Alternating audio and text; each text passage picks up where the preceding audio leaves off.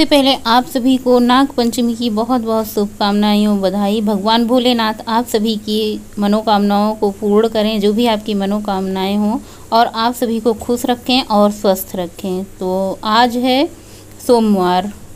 सोमवार को कोई ब्लॉग नहीं गया था। हालाँकि संडे को ब्लॉग शूट हुआ था, लेकिन एडिट नहीं हो पाया तो संडे वाला ब्लॉग देखते हैं कब जाएगा, आगे पीछे जाएगा, जब जाएगा। हालाँकि ये मंडे का ब्लॉग है, बच्चे सुबह अभी छः बज रहे हैं और स्कूल जा रहे हैं। मंडे को सुबह बारिश हो रही थी, जिसकी वजह से मैं टहलने भी नहीं गई और फिर बच्चों का टिफ़िन लंच तैयार किया, बच्चे स्कूल गए। सुबह बच्चों के लंच में बनी थी भिंडी की सब्ज़ी और रोटी। तो हमने सोचा, चलो आज थोड़ा सा शूटिंग करते हैं, बच्चों को दिखा देते हैं। तो उनके पापा बच्चों को रोड तक, बस तक छोड़ के आएँगे सबसे पहले। हेलो एवरीवन, गुड मॉर्निंग सुप्रभात राधे राधे कैसे हैं आप सब? आई होप आप लोग बहुत ही अच्छे होंगे, हेल्दी, स्वस्थ, मस्त होंगे और बहुत सारा खुश भी होंगे साथ साथ में। अभी बज रहे हैं सुबह के साढ़े सात और घर की सारी साफ़ सफ़ाई डस्टिंग हो चुकी है, बच्चे स्कूल जा चुके हैं और हस्बैंड भी आज जा चुके हैं जल्दी, उनका काम था ऑफ़िस में तो इसलिए चले गए आप लोग पूछते हैं कौन से काम करते हैं तो हमारे हस्बैंड शिक्षा विभाग से जुड़े हुए हैं। मतलब ऐसे शिक्षा विभाग जो बड़े बच्चे, जैसे कई बार आप लोगों को बताया, जैसे इंटर के बाद से जहाँ बच्चे पढ़ते हैं B A B com M S C M tech B law मतलब बहुत सारी ऐसी बड़े बच्चों का स्कूल है तो वहाँ पे हमारे हस्बैंड की जॉब है, सरकारी जॉब है प्राइवेट जॉब नहीं है, सरकारी है। आप लोगों को क्लियर कर दें। और ये जो मेरा मकान है, या फिर जहाँ पे रहती है ना, ये सरकारी सरकारी ही है मतलब सरकारी आवाज़ जैसे होते हैं इसमें ज़्यादा कमरे नहीं है, सिर्फ़ दो कमरे हैं, लेटरिन बाथरूम, बरामदा है, आगे कच्चा है, उसके आगे बरामदा है। तो बस, सरकारी आवास में ऐसे होते हैं छोटे छोटे कमरे बने होते हैं, आदमी उसी में रहते हैं। पहले प्राइवेट में रहा करते थे, लेकिन कुछ दिनों से देखो प्राइवेट में आपको घर अच्छे मिल जाएँगे, लेकिन सुविधाएँ अच्छी नहीं मिलेंगी। जिस तरीके से सरकारी में सुविधाएँ मिलती हैं, बिजली मिलती है 24 घंटे पानी मिलता है 24 घंटे, और टहलने का, घूमने का खुली हवाओं का वातावरण होता है ना, जब तक तो हम प्राइवेट में थे तो फूल के एकदम गुब्बारे जैसे हो गए थे।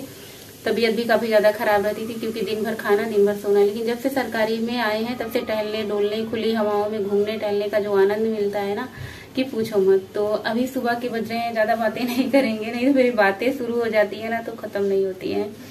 तो बच्चे एक बार स्कूल जा चुके हैं, किचन साफ़ कर दिया है, बर्तन कढ़ाई वढ़ाई धुल दी है और सब्ज़ी रोटी बनाई थी। सुबह शूटिंग नहीं की थी क्योंकि देर हो गया था। आज हम देर में सो के उठे थे तो देर हो गया तो इसलिए सुबह कोई शूटिंग नहीं की। बच्चे स्कूल गए हस्बैंड चले गए हैं, कुछ खा के नहीं गए, चाय पी के गए हैं, बच्चे भी चाय पी के ही गए थे।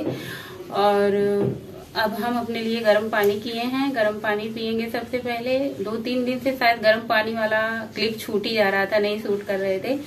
तो कुछ चीज़ें सूट हो जाती हैं, कुछ चीज़ें छूट जाती हैं और डस्टिंग कर दी है, किचन की साफ़ सफ़ाई कर दी है, सिर्फ़ फर्श में झाड़ू लगाना है, पोछा नहीं लगाएँगे क्योंकि हो रही है बारिश। कल इतना ज़्यादा मतलब दिक्कत हुई दिक्कत हुई कि क्या बताएँ? बारिश की वजह से इतने सारे कपड़े धुले गए थे अच्छा किया था हमने, गेहूँ नहीं धुला था। तो सबसे पहले गर्म पानी पी लेते हैं, झाड़ू लगा लेते हैं, स्नान कर लेते हैं, पूजा भी मुझे नहीं करनी है अभी पाँच से छह दिनों तक। और सबसे पहले गर्म पानी पी लेते हैं। एक बार सुबह गर्म पानी पिया था, टहलने नहीं गई थी, बारिश हो रही है। आज ना तो फिर बारिश की वजह से लेट हो जाता है ठंडा ठंडा मौसम होता है तो आँख लग जाती है। मैंने सोचा आप लोगों से दो मिनट बातें कर लेते हैं। अच्छा बातें करने के लिए आप सबसे ना बहुत सारा टाइम होता है। जब बच्चे नहीं रहते हैं, चले जाते हैं ना तो एकदम घर में शांति रहती है। एक बार तो होता है कि अच्छा नहीं लगता, घर सभी लोग सुबह सुबह ही निकल जाते हैं। लेकिन फिर यह होता है कि कि बच्चे जाएँगे नहीं पढ़ेंगे नहीं लिखेंगे नहीं तो फिर आगे कैसे बढ़ेंगे? आ, थोड़ा सा तो तब करना ज़रूरी है ना? अभी विद्यार्थी जीवन है बच्चों का सारा दिन चलता रहता है। स्कूल से आते हैं खाना पीना खाते हैं थोड़ी देर बैठते हैं आराम करते हैं फिर ट्यूशन वाले सर आता सर आ जाते हैं उनका दो घंटे का ट्यूशन होता है दोनों बच्चों का वो पढ़ते हैं फिर उनके होमवर्क हो जाते हैं तो बच्चे आठ नौ बजे तक वहीं से फुर्सत नहीं पाते हैं। आठ नौ बजे फुर्सत पाते हैं तो खाना खाते हैं एक डेढ़ घंटे टीवी देखते हैं साढ़े नौ बजे सो जाते हैं। फिर वही साढ़े पाँच बजे सुबह उठ जाते हैं तो ऐसे दिन बीत जाता है। लेकिन छुट्टी के दिनों में बच्चे फुल एंजॉय करते हैं, पूरा फुल एंजॉय करते हैं। मतलब संडे पूरा एकदम टोटली वो लोग खेल के ही निकालते हैं, पढ़ने का नाम नहीं लेते। मुझे भी, मैं भी नहीं कहती मैं नहीं कहता चलो, छह दिन तो बच्चे मेहनत किए हैं, एक दिन अपना अच्छे से खेल लें, देख लें टीवी तो अच्छा है, मुझे भी अच्छा लगता है। और और क्या बातें करें? हाँ बातें तो बहुत हैं, लेकिन पहले पानी पी लेते हैं।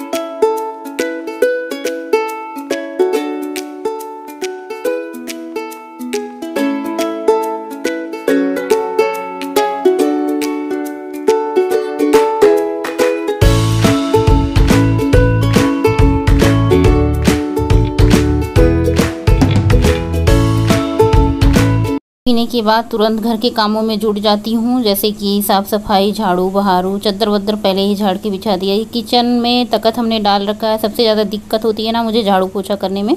लेकिन एक बार झाड़ू पोछा हो जाता है तो मुझे आसान भी रहता है अच्छा भी लगता है। यहाँ पर बैठ के सब्ज़ी वब्जी कट करना या फिर चावल बीनने वाला काम होता है। और इधर वाले कमरे में पूरा बेड, एक तकत इधर अलमारी, फ्रिज, ये सब हैं। और आगे बरामदे में गाड़ियाँ खड़ी होती हैं। तो बस झाड़ू लग चुका है, कूड़ा उठा लेते हैं। और गर्म पानी पीने के बाद ना तुरंत काम करने लगो तो बहुत ही ज़्यादा गर्मी लगती है। एक तो भगवान जी ना आजकल ज़रा सी बारिश करके इतना तेज़ धूप कर रहे हैं ना, ज़रा सा ठंडा मौसम होता है, उसके बाद दुगना गर्मी देते हैं। और कल जो हमने कपड़े धुले थे सारे के सारे अंदर ही डाले हैं, क्योंकि बार बार अंदर बाहर करके थक चुके थे। जैसे ही बाहर लेके जाते थे, बारिश आ जाती थी तो फिर अंदर डाल दिए हैं। और ये वाला चद्दर बिछा दिए हैं, जो धुले थे उसको वहीं पे अभी पड़ा है, जब अच्छे से सूख जाएगा तो फिर अंदर रख दिया जाएगा। बाकी ओढ़ने वाले चद्दर हस्बैंड के कपड़े, बच्चों के कपड़े, अरे बहुत सारे काम हो जाते हैं भाई थोड़े थोड़े काम होते हैं, लेकिन एक इंसान के ऊपर अगर सारे काम डाल दो तो बहुत सारे काम हो जाते हैं। तो बस नहा के बस ओट्स की तैयारी कर रहे हैं। यहाँ पे सबसे पहले अपना नाश्ता बनाएँगे। तो ओट्स चढ़ा दिया है। दूध और ओट्स इसमें डाला है। बस और कुछ नहीं डाला है। उसके बाद ये सात से आठ मिनट में बहुत जल्दी बन जाता है। और मुझे वही नाश्ता चाहिए जो जल्दी बन जाए फटाफट से। या तो फिर आ, फ्रूट रहते हैं या फिर कुछ रहते हैं ऐसे खा लेती हूँ। दही जमाया था। आप देख सकें कितनी बढ़िया कड़क दही जमी है ना। एकदम थिक गाढ़ी गाढ़ी तो सबसे पहले जो दही है ना, इस भगोने को खाली करना है, क्योंकि शाम को टाइम इसमें दूध गर्म होगा तो दही को जो हम छोटे भगोने में खाली कर लेते हैं, और जो थोड़ा सा दही है ना, इसमें बेसन मिक्स करके कढ़ी बनेगी। तो ये देखिए कितना बढ़िया दही जमा है ना। तो जो थोड़ा सा दही लिया था, उसको अच्छे से फेंट लिया इसमें डालेंगे चार चम्मच बेसन। आज थोड़ा सा उल्टा पुल्टा काम करने वाले हैं। कढ़ी पहले बनाएँगे, पकौड़ियाँ बाद में बनाएँगे, क्योंकि आज मुझे जल्दी खाना बनाना है। फटाफट से काम निपटा के और काम देखने हैं। तो बेसन और दही को अच्छे से मिक्स कर लेंगे। एकदम लम्ब गुठली ना रहे। पहले आप पानी ना डालें। और कढ़ी तो बहुत तरीके से बनती है, पंजाबी कढ़ी, गुजराती कढ़ी, मराठी कढ़ी, राजस्थानी कढ़ी, लेकिन ये मेरी कढ़ी जो बन रही है ना, यूपी वाली कढ़ी है हमारे यूपी स्टाइल में। और इधर जो ओट्स बनाया था, इसमें हम जैगरी पाउडर डाल के अच्छे से मिक्स कर देंगे। मतलब हाथ दो हैं, काम, दिमाग दिमाग जो कर जितना मेरा चल रहा है ना, बस उतना चला रहे हैं। इधर मतलब इधर देख ले रहे हैं, उधर देख ले रहे हैं। तो बस ओट्स हमारा तैयार हो चुका है और बेसन का घोल तैयार हो चुका है। तड़का हमने सोचा जितनी देर देर तक हम हाथ से कटिंग करेंगे इससे अच्छा एक चॉपर से चॉप कर लेते हैं फटाफट से हो जाएगा।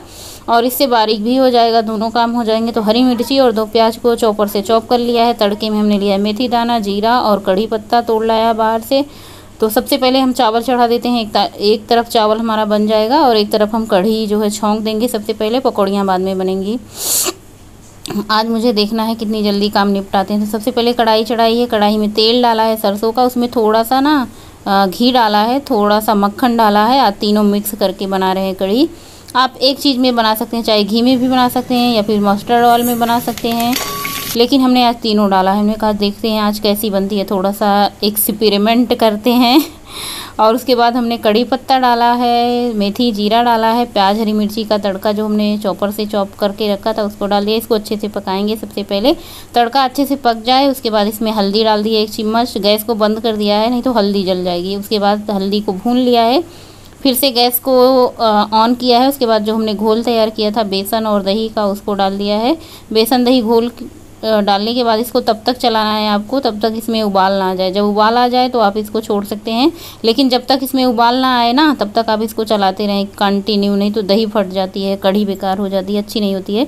बस इसमें नमक डाल देते हैं, कढ़ी हमारी बनती रहेगी, पकती रहेगी। कढ़ी कढ़ने में टाइम लगता है बीस पच्चीस मिनट जब तक कढ़ी ना कढ़े ना, तब तक उसका स्वाद नहीं आता। तो कढ़ी कढ़ती रहेगी, चावल बनता रहेगा, तब तक हम पकौड़ियों के लिए तैयार कर लेते हैं। तो बस बचे हुए बेसन में हमने डाला है प्याज, हरी मिर्ची और हरी धनिया की पत्ती, थोड़े से मसाले जैसे ये सब्ज़ी मसाला, हल्दी, साबुत जीरा और थोड़ा सा किचन किंग ये सारे मसाले डाल के इसको अच्छे से कर लेना है मिक्स आप अपनी मन पसंद के अनुसार मसाले डाल सकते हैं या फिर आपके घर में जो मसाले खाए जाते हैं वो मसाले आप डाल सकते हैं। इसको अच्छे से मिक्स कर लेना है और कढ़ाई हमने गैस पे चढ़ा रखी है, तेल गर्म हो रहा है, बस फटाफट से पकौड़ियाँ फ्राई करते हैं। और उधर जो कढ़ी हमारी पक रही है ना, फटाफट से उसमें डाल देते हैं। आज लालच भी नहीं आएगा क्योंकि उधर कढ़ी बन रही है फटाफट से पकौड़ियाँ डाल देते हैं। और होता क्या है ना, जब हम पकौड़ियाँ बना के पहले रख देते हैं तो चार पकौड़ियाँ इधर खाते हैं, चार पकौड़ियाँ उधर खाते हैं, बच्चे खाते हैं या फिर बड़े खाते हैं, जैसे इधर कढ़ी बनी और फटाफट से उसमें पकौड़ियाँ डाल दी तो बस कढ़ी बन के तैयार है। सर्व कर लेते हैं, छोटी वाली कढ़ाई में बड़ी से। नंबर आप लोग दे देना भाई, जो भी देना होगा, या फिर लाइक कर देना अगर अच्छा लगे तो। और उसके बाद यहाँ पे हमने बाउल में निकाल लिया है ओट्स तो ये थोड़ा सा ज़्यादा था तो जो कप वाला है इसको शाम के टाइम खाएँगे और जो ये बाउल वाला है इसको दोपहर में खाएँगे। आज नाश्ता करने में थोड़ा सा लेट हो गए थे मतलब थोड़ा सा क्या, नौ की बजाय आज दस हो गए थे। और ओट्स खा लो ना तो बहुत देर तक भूख नहीं लगती। ज़्यादा बर्तन थे नहीं, हमने सोचा चलो हाथ के हाथ इनको भी निपटा देते हैं। ये जो कड़ी उड़ी बनाए थे ना इसे छोटे थोड़े से बर्तन थे और आजकल पानी नहीं आ रहा था, बरामदे में धुल रहे थे तो नहीं दिखा रहे थे। लेकिन अब फ़िलहाल किचन में पानी आ गया है तो बस हो जाती है शूटिंग थोड़ा बहुत यहाँ भी। सो so फ्रेंड अभी बच चुके हैं सुबह के दस और इस कढ़ी चावल ने तो हमारा कचुम्बर ही निकाल दिया। इतनी ज़्यादा गर्मी हो रही है। कल हमने कपड़े धुले थे, धूप नहीं हुई थी, बारिश हुई थी। आज इतनी तेज धूप हुई है कि पूछो मत। और डर डर के जी रहे हैं कि मतलब गेहूँ धुल देंगे तो पता नहीं बारिश आ जाएगी। जो कढ़ी चावल खाएगा उसको तो बहुत ही मज़ा आएगा, स्वादिष्ट कढ़ी चावल बनी है। लेकिन बनाने वाले की हालत खराब हो गई है मतलब इतना देर गर्मी में रह के पकौड़ी बनाना, कढ़ी बनाना। और हस्बैंड शायद ग्यारह, साढ़े ग्यारह बजे तक खाना खाने आएँगे। तो मैंने सोचा चला फटाफट से पहले बना देते हैं। बना लिए हैं, अब चलते हैं। पंखे के नीचे थोड़ी देर आराम करेंगे। लेट के सुबह से उठे हुए हैं ना। तो थोड़ी देर आराम भी ज़रूरी है, नाश्ता हो चुका है, किचन की साफ़ सफ़ाई हो चुकी है, बर्तन वर्तन धुल लिए हैं। जो थोड़े से बर्तन निकले थे कड़ी उड़ी के, हमने सोचा चलो धुल के हटा देते हैं, सिंक छोटा सा है, ज़्यादा बर्तन इकट्ठा करने से क्या फ़ायदा थोड़े थोड़े धुलते रहेंगे। किचन में रहने से यही फ़ायदा होता है कि इधर किचन का काम होता रहता है, उधर बर्तन भी धुल लिए जाते हैं मतलब सारे काम इकट्ठा समेट लिए जाते हैं। और किचन में तख्ता इसलिए डाल रखा है कभी कभी बहुत पैरों में दर्द होता है, थायराइड की वजह से बहुत ही ज़्यादा दर्द होता है ना खड़े खड़े और कमर में भी दर्द होता है तो मैं यहाँ पे आराम से बैठ जाती हूँ, बैठ के काम करती हूँ कटिंग का चॉपिंग का या फिर कुछ खाने पीने का हुआ तो यहाँ पे आराम से बैठ भी जाती हूँ। कभी कभी मैं कुकिंग करती रहती हूँ हस्बैंड और बच्चे भी यहाँ पे आके बैठ के बातें करते रहते हैं। जैसे जब यहाँ पे गैस जलती है तो नहीं, लेकिन जैसे कुछ कटिंग चॉपिंग करते रहते हैं फ़ैन ऑन रहता है ना तो सब लोग आके बातें करते हैं। और शाम के टाइम आप लोग कहते हैं शेयर करने का, मेरा मन नहीं होता। देखिए घर में क्या होता है ना, सभी लोग कभी बंडी पहन के घूमते रहते हैं, कभी कुछ घूमते रहते हैं तो बच्चों को अच्छा नहीं लगता इस तरीके से कैमरे में आना। जैसे मुझे फिट फट रह के कैमरे में आना अच्छा लगता है, वैसे इन लोगों को भी अच्छा लगता है कि अच्छे से कपड़े वपड़े पहने रहे तो फिर कैमरे में आए। और होता क्या है ना, हम सब शाम को अपना खूब, अपना मस्ती, ये एक साथ खाना पीना, बैठना, बोल, बोलना, बात करना, या दिन भर में बच्चों ने क्या किया, हस्बैंड ने क्या किया। मतलब होता है एक दूसरे का सुख दुख बांटना, जिसको कहते हैं, अपनी बातें उनसे शेयर करना और उनकी बातें वो अपनी बातें मुझसे शेयर करना, ये सारे चीज़ होते हैं। तो ये सब बातें होती है ना, कुछ पर्सनल बातें भी होती हैं तो जो कि कैमरे में नहीं आनी चाहिए तो इसलिए शाम के टाइम कोशिश ये करते हैं कि एक दो चार काम ही सूट करते हैं, बाकी कुछ नहीं सूट करते हैं। और जब कहीं बाहर जाएँगे फैमिली के साथ तो आप लोगों के साथ, फैमिली तो आप लोग देखते ही होंगे, बच्चे हैं दो, हस्बैंड है, मैं हूँ, और यहाँ पे कोई नहीं रहता है, बाकी परिवार गाँव में रहते हैं, या फिर बाकी के परिवार अपने अपने शहर में रहते हैं, जहाँ सब लोग कमाते खाते हैं, वही उनका घर है, वही रहते हैं। मेरी बातें तो बहुत होगी, आप लोग तो जानते हैं कि प्रतिमा कितनी बात होनी है। तो इसलिए चलिए मैं थोड़ी देर आराम करती हूँ और वीडियो में आप लोगों से मिलती हूँ। सीधा दोपहर को मिलेंगी लंच टाइम पे। शाम के चार बज चुके हैं। बच्चे स्कूल से आ चुके हैं। खाना पीना उनका हो चुका है, यानी चार बजने में दस मिनट बाकी थे तो हमने अपना लंच किया था। आज हम डिनर करेंगे नहीं, बस लंच करेंगे। और रात के टाइम जो हमने ओट्स बना के रखा था ना, आधा कप बचा हुआ वही खा लेंगे, क्योंकि आज बहुत लेट हो चुके हैं खाना खाने में। और बस खाने को बत्तीस बार चबा के खाना है। अब वही चीज़ रोज़ क्या दिखाएँ, वीडियो बहुत ज़्यादा लंबी हो जाती है।